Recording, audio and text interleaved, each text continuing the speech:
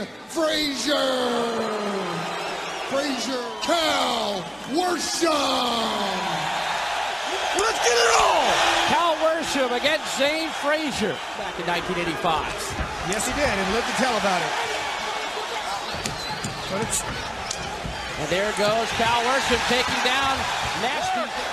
Worsham landing some big left hands to Frazier's head. He's also using some headbutts in there, getting hit. But right here on the inside, he's at a disadvantage.